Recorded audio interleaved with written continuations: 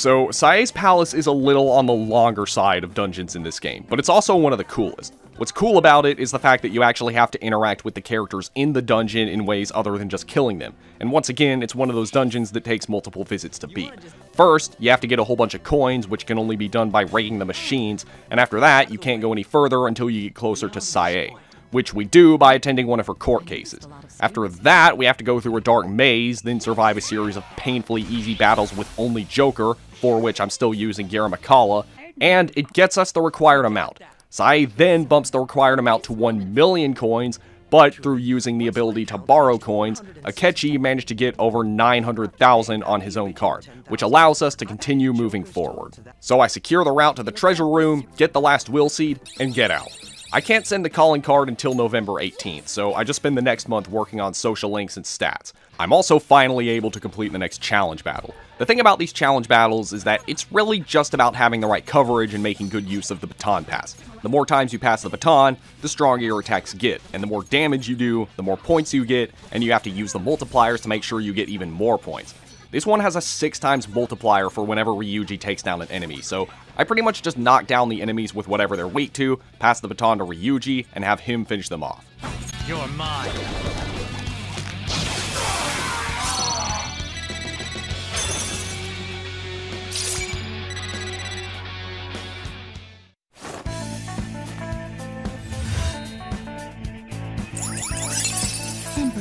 Incredible. I also get Akechi social link as high as I can, and when I do, he challenges Joker to a 1v1. My thus I've built up this urge to duel you without holding anything back.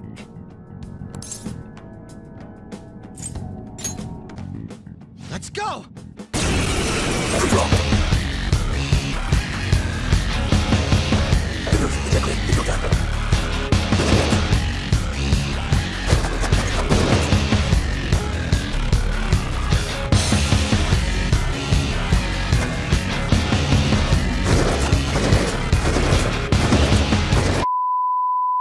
As long as I have Girimehkala equipped, he can't do much.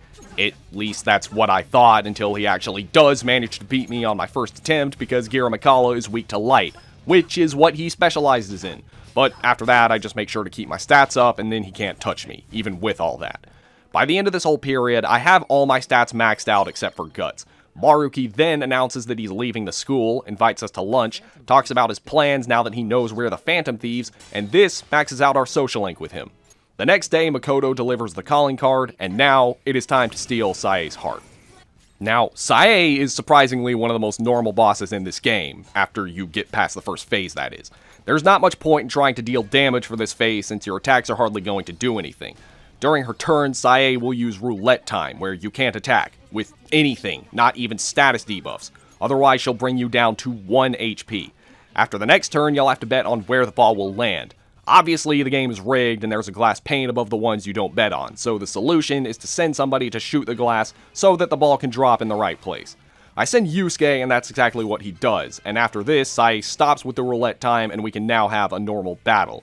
Well, aside from the fact that there's still a roulette wheel, but you can't bet on it. It just determines which attacks Sae will use and what her resistances will be. It's in a similar vein to Isamu from Nocturne, where if she gets fire, she'll resist everything except for ice, for example, or electricity if she gets wind.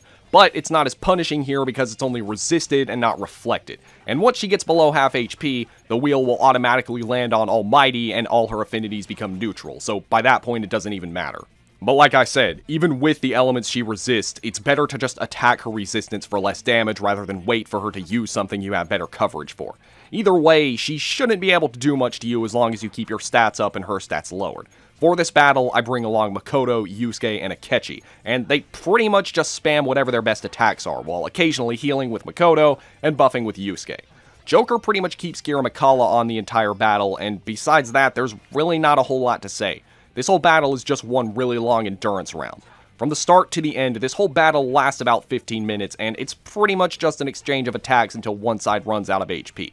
Aside from whatever magic she gets from the wheel, she'll mostly alternate between a variety of physical attacks like Severing Slash, Gatling Gun, Hundred Slaps, and Brutal Impact. These attacks, again, aren't strong by themselves, but they can become a problem when she crits with them. But again, because this is Persona 5 Royal, you're probably always going to have some kind of easy way out, be that through Futaba randomly helping you out or you getting a Showtime attack. Toward the end, I do slip up and Sae is able to take out Makoto, but because of this, I get a Showtime attack, which does just enough to take her out. Let's end them. You're gonna regret that, won't they, Fox? On guard.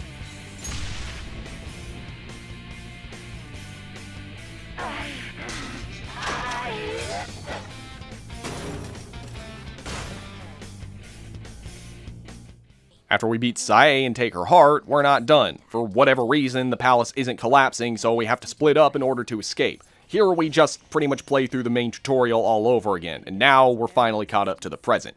This completes a social link with Sae, and we figure out who the real culprit is. But after that, well, I think you all know what happens.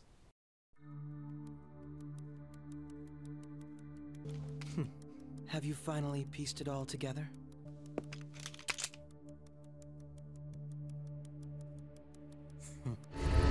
Truth is, the game was rigged from the start.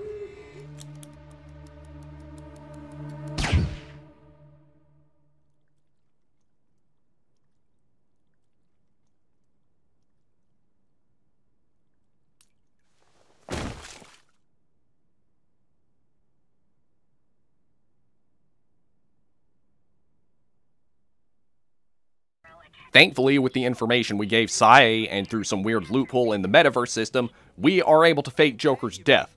I'm not gonna pretend it makes the most sense, but the point is the game isn't over. Everything Akechi did was part of a plot to eliminate the competition so that David Cross could become Prime Minister of Japan. The same David Cross that got Joker to where he is now, and we decide to make him our next target. We find his palace, and this first part is pretty much just scouting it out and coming up with a plan. But new palace also means new area in mementos, so I decide to get that out of the way first. Other than that, I spend a little bit of time working on the usual stuff. Some stats here, some social links there, and a lot of working out to boost my HP. I try to finish whatever party member social links I have left, but unfortunately your party members won't be available as often if you haven't completed the palace yet. So, on December 5th, I decide to go to Shido's palace, and this is one of the longest and most complicated palaces in the game. For one thing, the design of the dungeon can make it extremely confusing at times, and much like Sae's palace, here you actually have to interact with the NPCs in order to progress. You need to get 5 recommendation letters from Shido's supporters in order to be allowed into where he is, and these have you going to different parts of the boat for each one, like the restaurant, the private rooms, and the pool. I like how for the pool section you need to find swimsuits to get one of the guys' attention, even though you have the swimsuit costumes provided to you by the game, but when you put them on, nobody seems to react at all.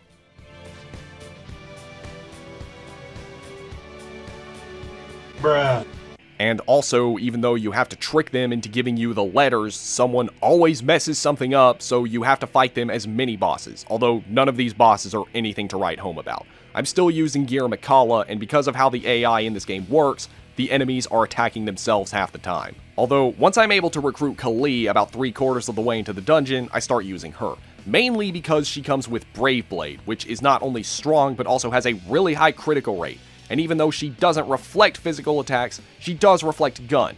And I can make her null physical thanks to that null phys skill card I got from that arcade side quest I did in Mementos earlier.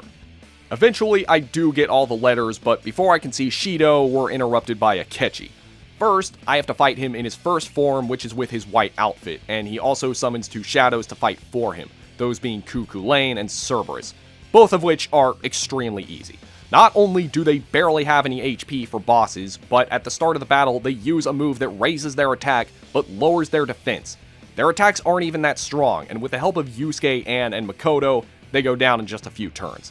After that, we have to fight Akechi himself, and it's not really much different. He can use light and dark attacks, but thankfully nobody in my party is weak to either of these. He also knows Megidolon, which does absolutely nothing, and after he uses that, I get the charge from Futaba and easily finish him off.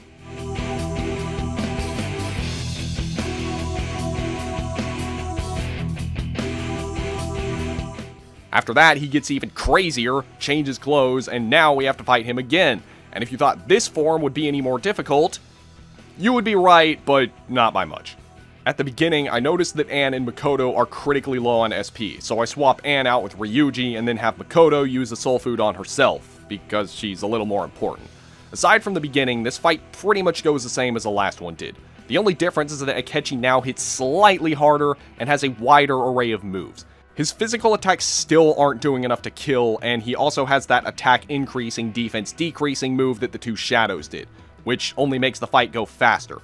He also has Maragion, which nearly knocks out Yusuke near the end, but it doesn't, and then I'm quickly able to finish him off with a Showtime attack.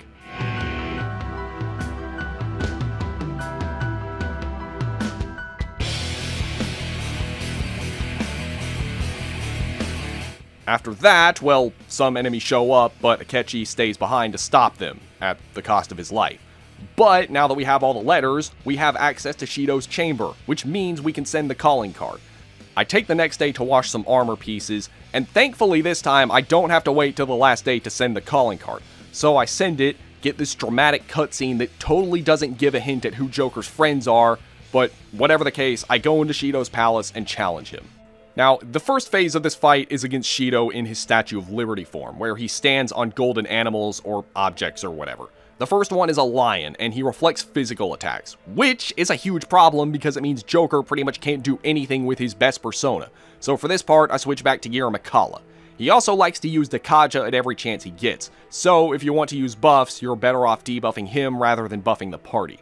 Shido has a wide range of physical attacks and buffs, as well as Wage War, which enrages everyone. This is especially bad because it means everyone will always use their normal attack, which means they'll pretty much just be damaging themselves since he reflects physical attacks. The first time he uses it, it hits everyone except for Yusuke, who I have heal Makoto, who automatically heals Ryuji, and then uses her energy shower to heal Joker. After this, it's pretty much just spamming magic attacks. Once you get him down to about two-thirds of his HP, he'll change into his wing form, and from here things start to get a lot easier because he loses his reflection to physical moves. He does have access to pretty much all elemental magic, but it's only single target heavy attacks. My first Brave Blade with Kali does over 1400 damage, and he immediately changes into his next form before he even gets a chance to attack. The Pyramid form has no resistances at all, and he only has two Almighty attacks, one of which only hits one party member at a time, and the other takes two turns to use. And, right after he changes into this form, Haru and Makoto get a Showtime attack which does over 1700 damage, and then Ryuji finishes him off with a Megaton raid which does over 800.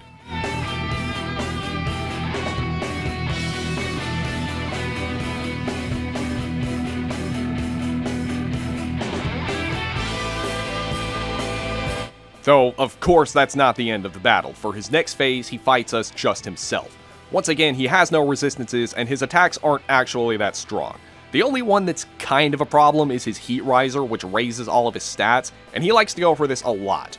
The only counter I have are the sprays and the baptismal waters, but these are a limited resource.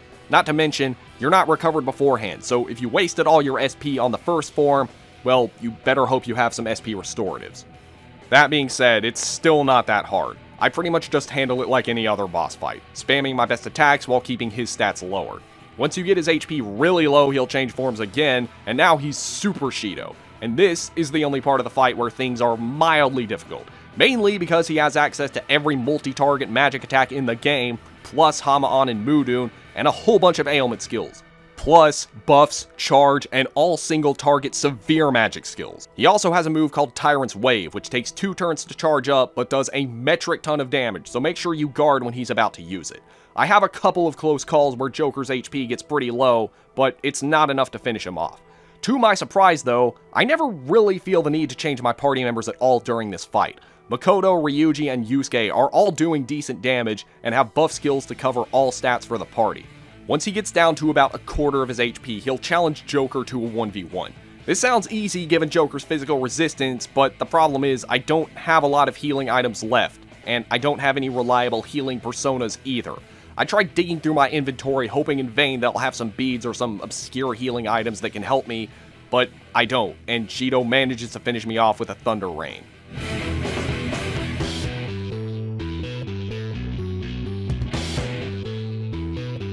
So I think it's time to rethink my strategy. Unfortunately, because of this challenge, I can't really fuse anything that will give Joker healing abilities and reliable defenses at the same time. So what I have to do is give Kali Regenerate 3 in hopes that this will mitigate my HP problem, as well as charge because why not? But the biggest change I make is equipping Joker with the Salvation Crown. This is an item from Tanaka's Shady Commodities which costs almost a million yen, but it is more than worth it considering how early in the game you can get it because it allows you to use Salvation, which heals everyone's HP and cures all ailments. So I attempt the fight again, and it's pretty much the same as before, only this time I do a better job at conserving my resources, and Kali's Regenerate 3 proves to be a big help. I also swap Yusuke with Ann midway into the fight just so I have an extra healer. Once I get to the 1v1 part, I make sure to make good use of charge so that I'm not only dealing more damage, but also conserving HP, since in this game that's what I use to pay for physical skills. I'm automatically healing about 30 HP each turn, and Salvation proves to be a big help since I can just restore my HP when it gets low. My first Brave Blade does almost a thousand damage, and after that, it's only two more hits before Shido goes down.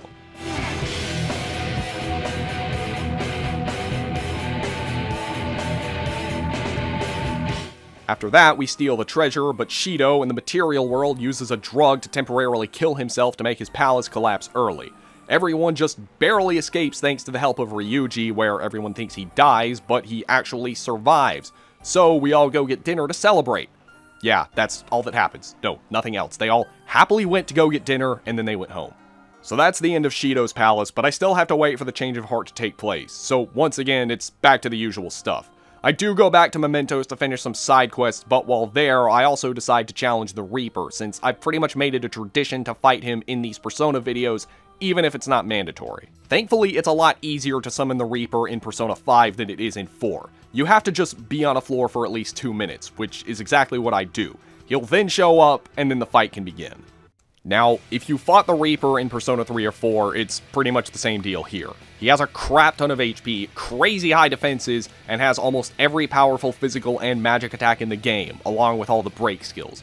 Surprisingly, unlike in Persona 3, he doesn't actually resist anything, but because of how high his stats are, my attacks are still hardly doing anything. Meanwhile, his attacks do a lot, so it's pretty much mandatory to keep your defense up and or his attack down. Another thing is that his AI is actually smart. He can and will target your party members' weaknesses. On the plus side though, this also means that I'll be getting a lot of showtime attacks, and this is really the only way to deal decent damage to him. My attacks are normally doing under 50 damage, while Joker's charged attacks are doing 100 to 200 damage, while Showtime attacks will deal well over 500 in most cases. The team I start out with is Joker, Yusuke, Makoto, and Ryuji, but I do swap Yusuke with Ann about a quarter of the way in, mainly so that I can make use of her Matarunda. The Reaper does pretty much what I expect him to. He just spams magic attacks and whatever break skill he feels like whenever he gets the chance. In this battle, using the break skill is actually the best thing he can do because, well, if he's breaking my resistances, he's not attacking. He also really seems to not like Ann because he goes for Bufudyne on her an unhealthy amount of times. And despite her having a second tier persona with Evade Ice, it doesn't really seem to help much, so I have to revive Ann a lot during this fight. Other than that, there's really not a lot to say. This whole fight is pretty much just a repeating cycle of attacking with everyone, while buffing with Ryuji, Makoto, and Ann, and healing with Makoto when necessary. Makoto does get low on SP a couple of times, but thankfully I have a good amount of SP restoratives. And while I do have a few close calls here and there, the fight mostly goes smoothly. That is until the very end, where he's almost fully depleted of health, so much so that you can barely see his health bar, and then this happens.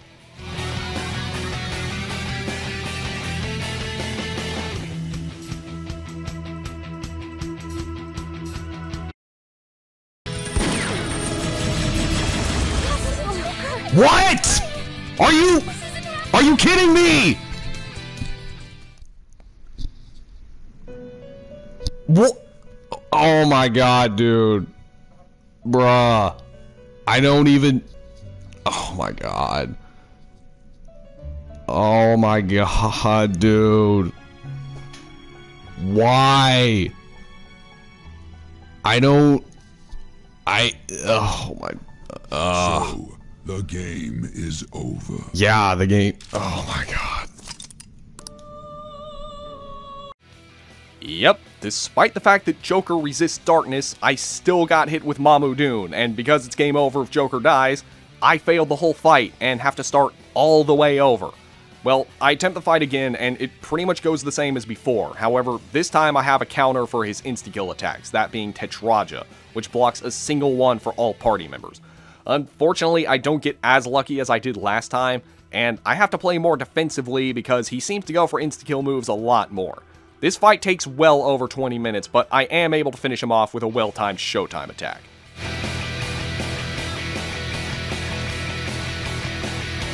And my reward for beating him is not only the Divine Pillar, which gives its holder firm stance, but I also gain 5 levels, which leads me to believe that I was severely underleveled for him, but either way, the Reaper has been defeated.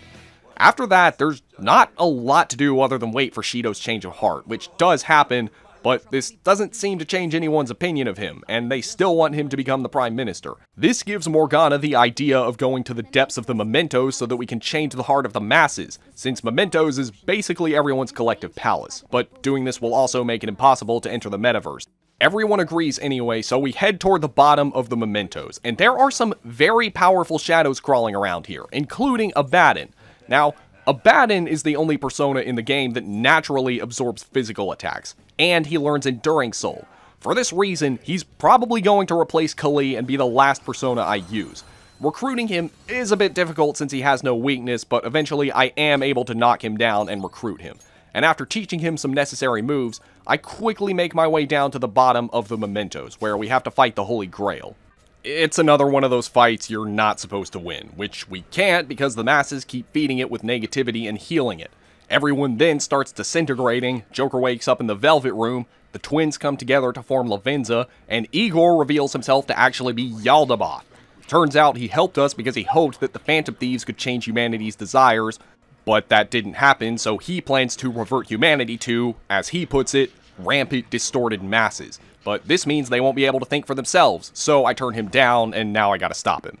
Before fighting him, there is another mini dungeon you have to do, and there are some very strong demons here like Mot and Mara. And along the way, I also have to fight the Archangels as some easy mini-bosses, but they're nothing to write home about.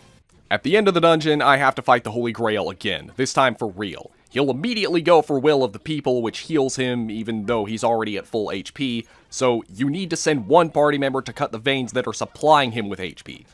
Now, for this fight, I bring along Yusuke, Haru, and Makoto, and I send Yusuke to cut the veins, which takes a couple of turns. Until then, you just have to keep hitting him with whatever you got until this happens.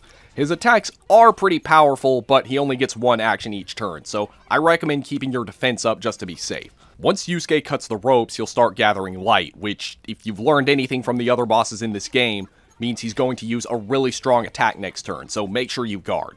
Fortunately, he doesn't have a lot of HP, and for a giant metal cup, his defenses are actually pretty low. My attacks are doing a lot of damage, and it's only a few minutes before the Holy Grail is defeated. Take this!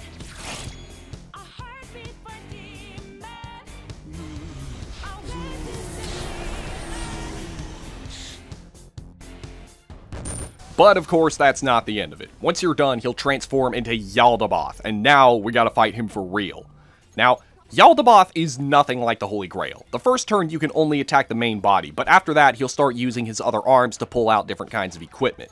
These arms are treated like their own separate combatants, and they can also use their own moves, and they actually do have a decent amount of HP. 1500 to be exact, which isn't a huge amount, but it is enough to set you back a couple of turns, and I do recommend taking these arms out as soon as you can. The first one he pulls out is the Gun of Execution, which can either deal damage or inflict an ally with hunger or lust. I'm able to easily take it out and then spend the next few turns attacking the main body until he does this again. The main body can't actually do much by itself. Aside from its 3-turn charge attack, its only attack is weak, and the other moves it has are Dekaja and Dekunda. It does have a pretty high 15,000 HP though, but its defenses are pretty low. Now, the other equipment it can pull out are the Bell of Declaration, which can inflict you with either weakness or jealousy and debuff your defenses, the Sword of Conviction, which can give you either gluttony or attack everyone, and the Book of Commandments, which inflicts you with either wrath or pride, and has all heavy single target magic attacks. These all sound pretty bad, and they are, but like I said, they're relatively easy to take out. Once you take them all out, he'll start reviving them, but when he does this, they only have half the HP they started with, so taking them out is even easier. It's pretty much just a repeating cycle of taking out the arms, attacking him, then buffing and healing when I need to. I start out the fight by using the same party I used for the Holy Grail, but early on I do swap Makoto with Ann. Once he starts to get really low on HP, he'll go for his 3-turn attack, which can easily be dealt with by just guarding, which I don't do, but everyone is able to hang on since they haven't run out of HP yet. And I get a Showtime attack, which I honestly wasn't expecting to happen during this fight. He'll also bring out all of his arms at once, but at this point it's better to just focus on the main body rather than worry about these things, and after that, it's not long before he goes down. Did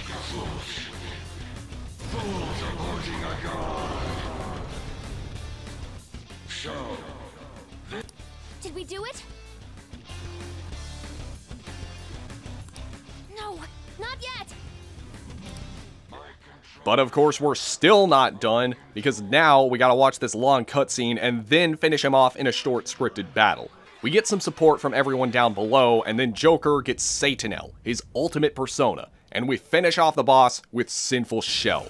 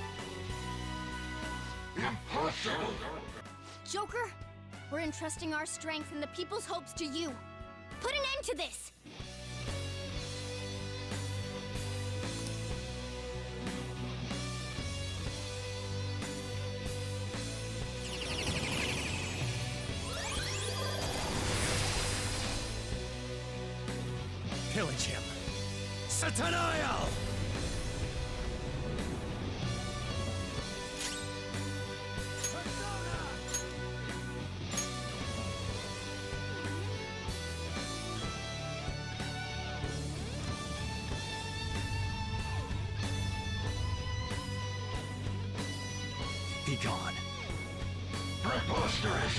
You dare wrong the people's wishes?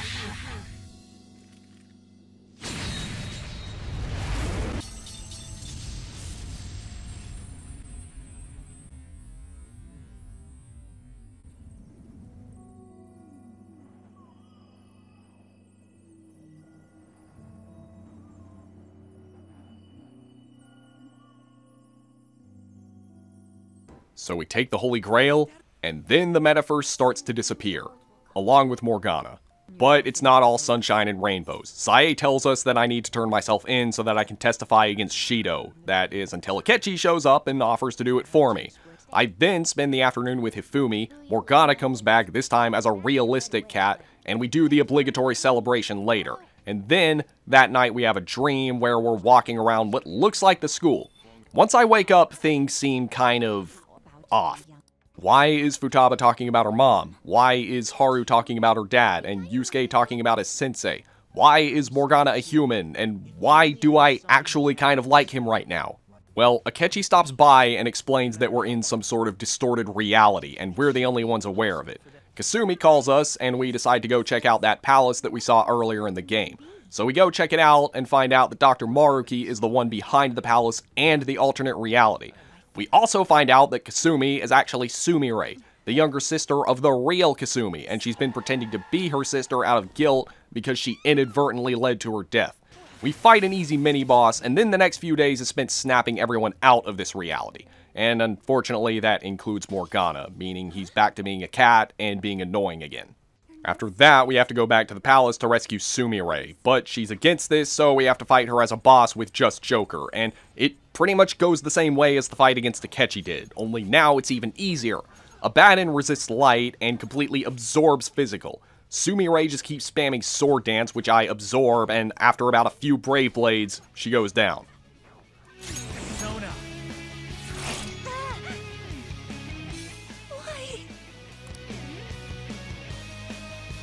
But that's not the end of it. Once she's defeated, her persona goes berserk, and Maruki also pitches in by summoning two Byakhees to assist in battle. If you take them out, he'll immediately summon more, so there's not really much point. That is until you realize that they can be used to heal her persona. But by that point, it should be apparent that you're not actually supposed to win this fight, because after a few turns, everyone else comes to help. Now it's much easier because we can easily take out the other enemies and deal decent damage with four party members. With them, it's just another easy mini-boss. Through the use of Baton Pass, I am able to deal astronomical amounts of damage and take her out in just a few turns.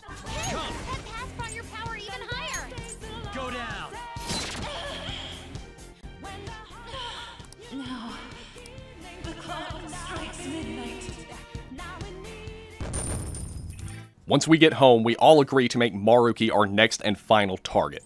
We go back to the palace, Sumire joins the party, and now we can go through it like any other palace. Seeing as how this is the only palace that is in the post-game, it is much longer than any of the ones we did before. It's not confusing though, and we're pretty much just working our way through, fighting whatever enemies and mini-bosses come at us, that is, until we get to the control room. We can't go any further because there are cables blocking the way, and the only way to get rid of them is to go to Maruki's control room in the Mementos.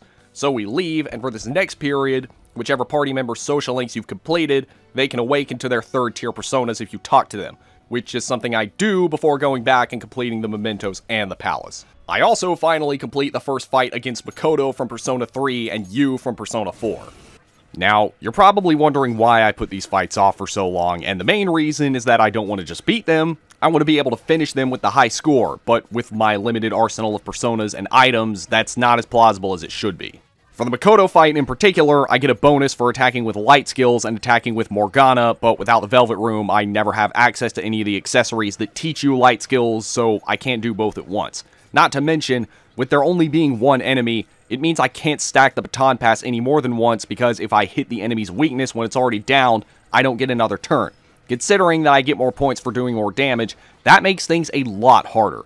The best thing I can do is bring along Sumire and Morgana and have Sumi spam light attacks while Morgana does whatever he can. Makoto will be constantly switching personas throughout the battle, but you can easily tell their affinities by just analyzing them. And that's not just because I'm overleveled, even when I was attempting this fight earlier, he still wasn't doing that much. It does take several attempts, but eventually I am able to deal enough damage to finish him off in the required amount of turns and earn enough points to collect all my rewards.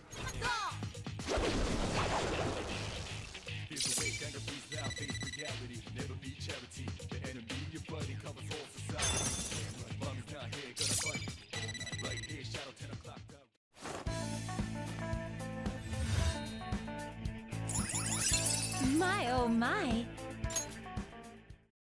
For the fight against Yu, though, it is a completely different story. For Makoto, the required amount of points to get everything was 60,000. The required amount for Yu is 1.2 million. Keep in mind that the game wants you to attempt this at level 50. Here, you're rewarded for using physical attacks, scoring technical hits, and having Haru attack. So, how are you supposed to go about this? Well, when Ryuji awakens to his third tier persona, he learns the skill Fighting Spirit, which basically applies charge to everyone. Now, as for getting technical attacks, unlike most bosses, you can actually be put to sleep, which is what I bring Ann along for. Her lullaby doesn't have the best chance to hit, but if you want those extra technical attack points, you're going to need to put him to sleep. And as for Haru, well, I don't have any physical skills on her, and her gun skills don't count, so what I do is I give her the Heat Wave build. It's not the best physical skill, but without the Velvet Room, it's the best I got. The strategy seems pretty good on paper, but the problem is that I just can't do it in a good amount of turns. You get a 300,000 point bonus for beating him in under 20 turns, which itself isn't hard, but doing that and getting enough points isn't. This is mainly because the only way to get a good amount of points is by hitting him with a charged technical physical attack with Haru. But this takes at least two actions to set up. If you're lucky, most of the time it's around 4 to 6. I was getting ready to give up, but that's when it hit me. I don't actually need to get the 300,000 point bonus at the end to win. I mean, yeah, it helps, but as long as I have enough points by the end, the amount of turns doesn't matter. And with the ability to put him to sleep, I can make him heal himself if need be. So what I do is, I keep the same strategy, but when his HP gets low, I let him sleep it off, and then attack him again. I keep repeating this until I get to 1.2 million points, and then finish him off. It's tedious, and it does take well over half an hour, but eventually I am able to do it and collect my rewards.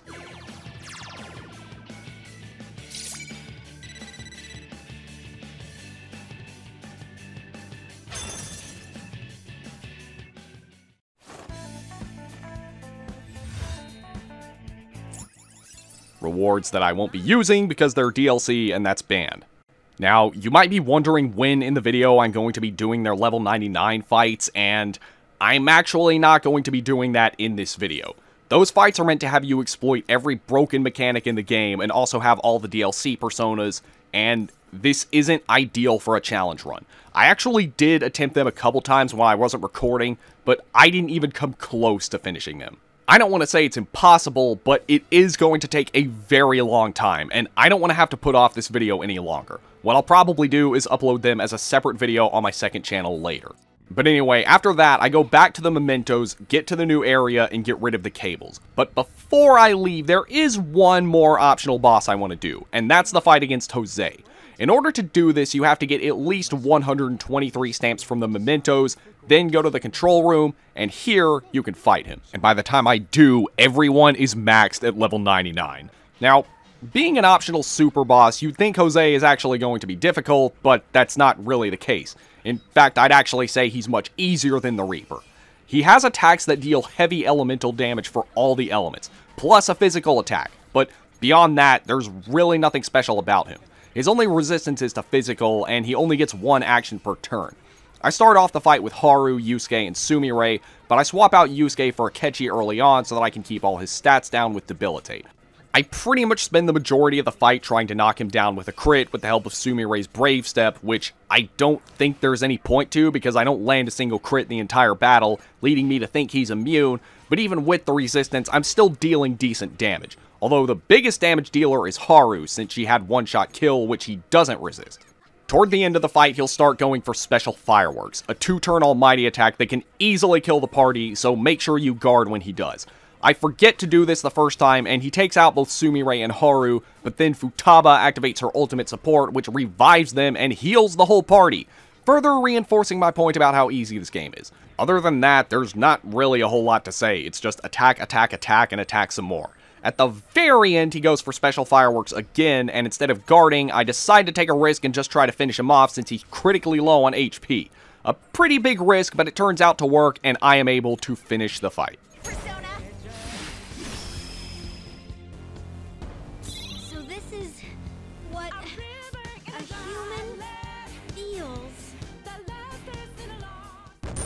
A few days later, I go back to the palace, and this time the puzzles are a bit different. One of them has you answer a series of questions, which, if you get right, you get an item, but if you get them wrong, you have to fight an enemy. And then this insanely tedious color mixing puzzle that we have to do just before the end of the dungeon. Plus, as we go through the palace, we find rooms with TVs and videotapes that contain information about Dr. Maruki's past and how he got to where he is today. Anyway, eventually I do make it to the end, and after that, there's nothing else to do here. And just like with Sae's Palace, we have to wait until the last day, so we do still have some time left. The next day, I max Sumire's social link, and then there's really not a lot I can do. I mean, I do have some social links that I suppose I could try to finish, but I seriously doubt I'll actually be able to finish them. I just find some ways to kill time, get Sumire to her third tier persona, and on February 2nd, I send the calling card, right after which Akechi awakens to his third tier persona. The next day, we head into the palace to challenge Maruki, and at the top of the staircase, we challenge him and his persona, Azathoth.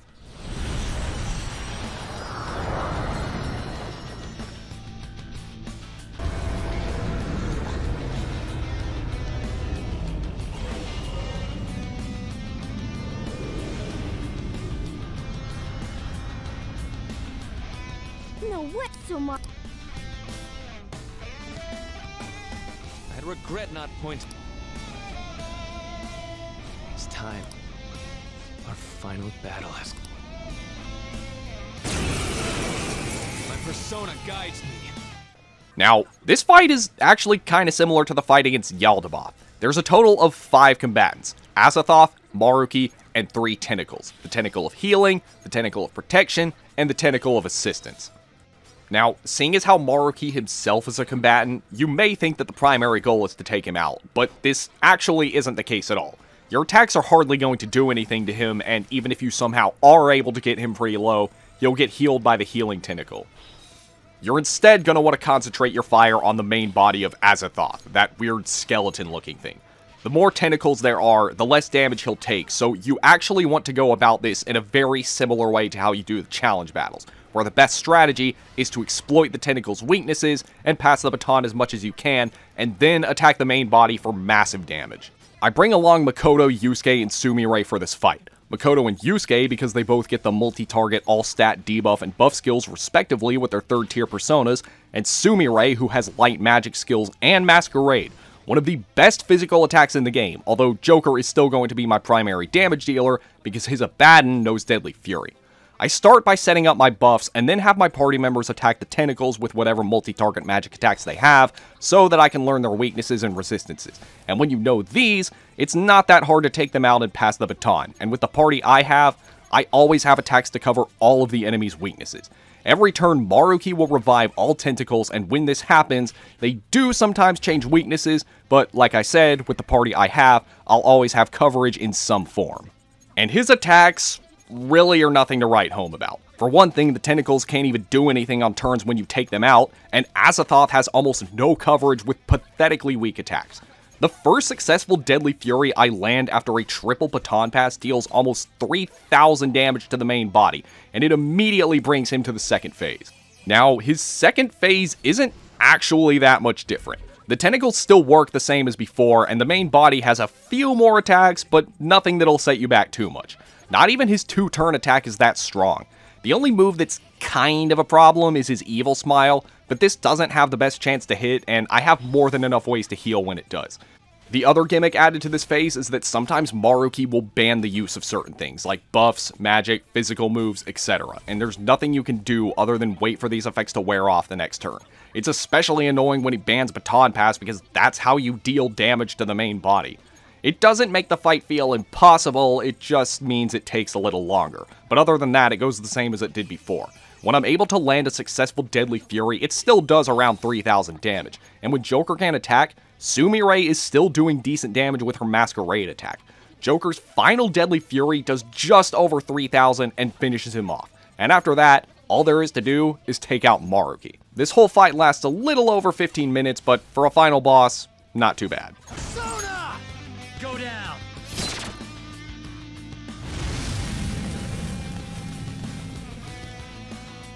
Azathoth! Finally, his persona. Now's your. Let's dance! Let's finish this!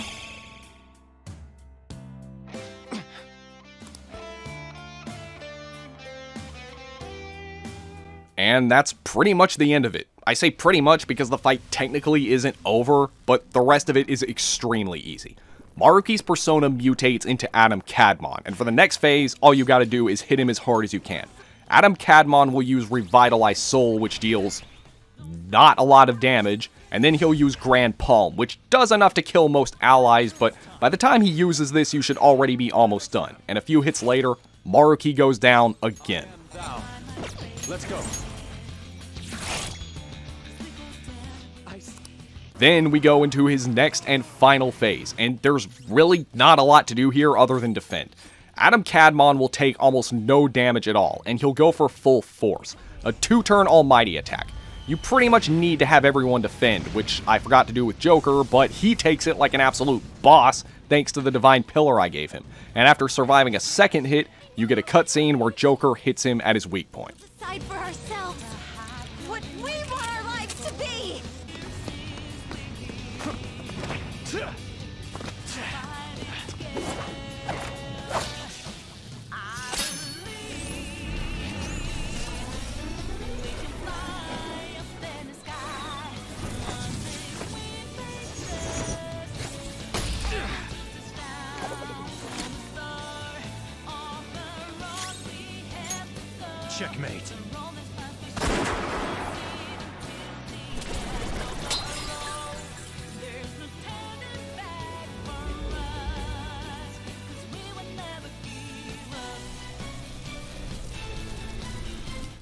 So, Adam Kadmon goes down.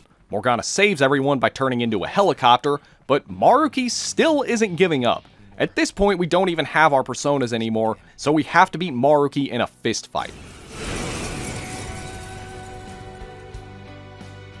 I gave up everything! Everything! So why?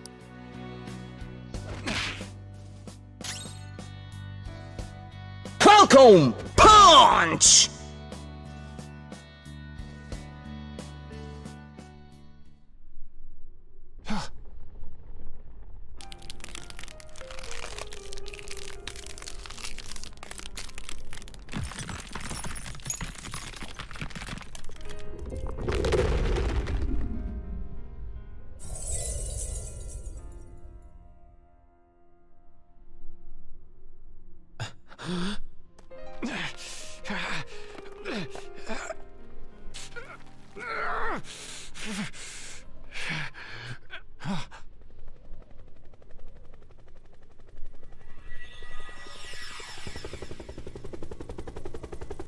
So bright.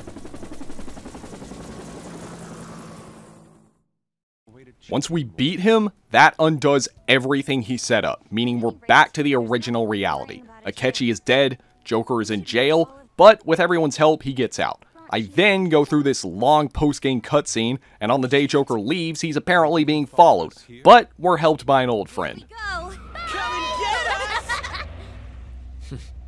Shall we then? if you find yourself struggling in life, you can start over, like me. Remember that. So yeah, if that ends up saving you, then we're square.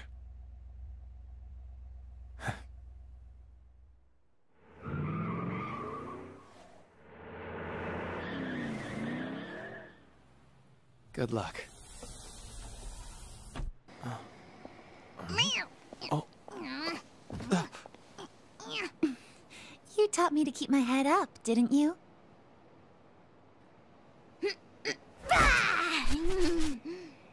Told you I was coming with you.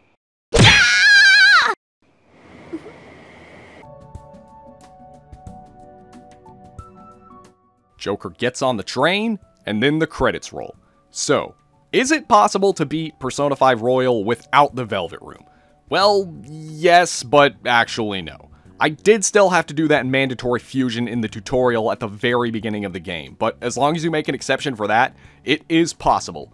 Though, I was still a bit disappointed with this challenge. I mean, Persona 5 is an extremely easy game, and very rarely in this playthrough did I actually feel like I was being challenged. I'm hoping that with the PC release coming soon that there will be mods that actually make this game difficult, but we can only hope. I don't think Persona 5 is a 10 out of 10 best game of the century, but it is still a good game, and I'm glad I got to finally do a challenge video on it. As always, guys, be sure to check out my links in the description. If you want to financially support me, consider leaving a Ko-Fi donation, and be sure to rate, comment, and subscribe. Until the next video, I will see you all later.